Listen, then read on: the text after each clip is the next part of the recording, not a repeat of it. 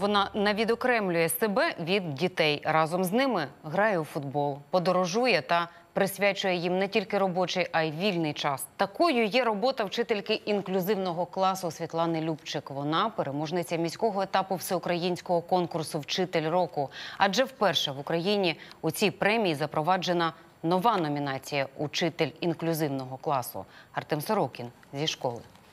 Щойно лунає дзвоник з останнього уроку, вони пірнають у відпочинок з головою.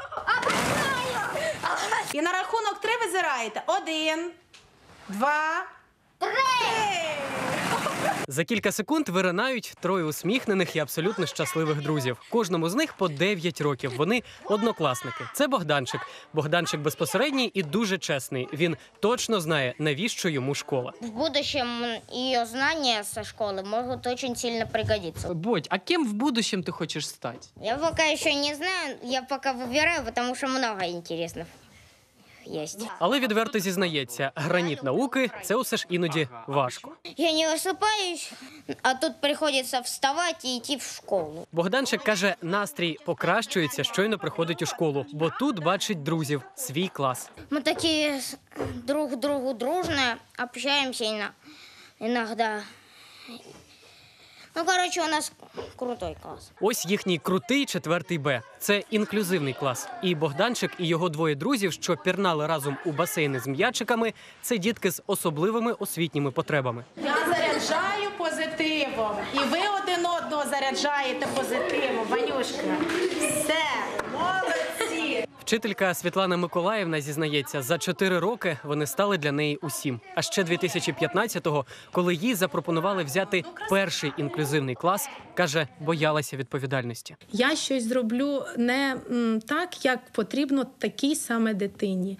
Але з часом, з часом, е, спілкуючись з батьками, і вони мені відкривали, так би мовити, такі двері е, свого особисто, як потрібно з такими дітками працювати. Я розуміла, що ми на правильному шляху. Це був не лише її шлях, а й шлях усієї 41-ї столичної школи, яка однією з перших у Києві вирішила, інклюзивна освіта стане її пріоритетом.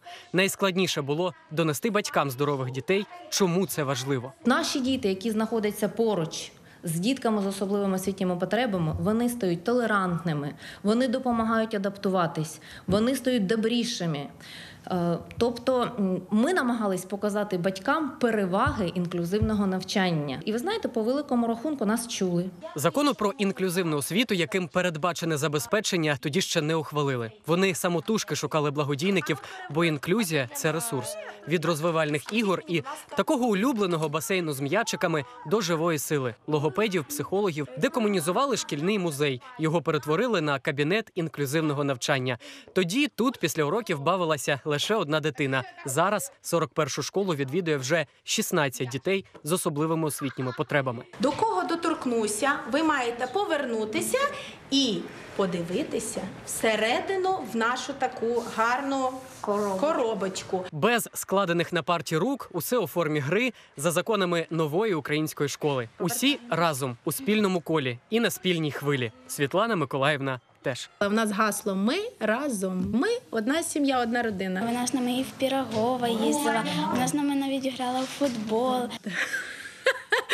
Правда, правда. Я дуже обожнюю рухливі ігри і взагалі спорт. Тому я гарно володію технікою футболу.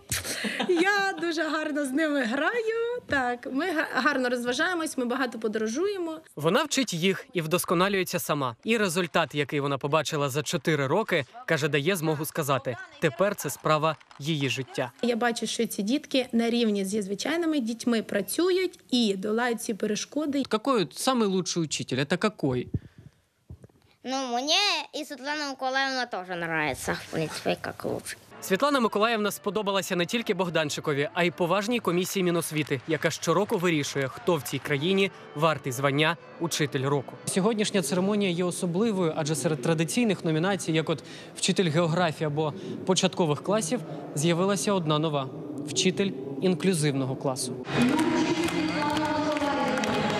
Премія майже 17 тисяч гривень, диплом від кличка та квіти. Звісно, приємно, каже вчителька.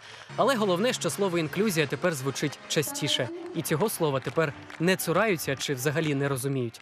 А воно стає приводом для гордості. Головне посмішки моїх діток і подяка від батьків. Це саме найголовніша подяка. І радість взагалі в моєму житті. Артем Сорокін, Сергій Дикун. Програма Вікна СТБ.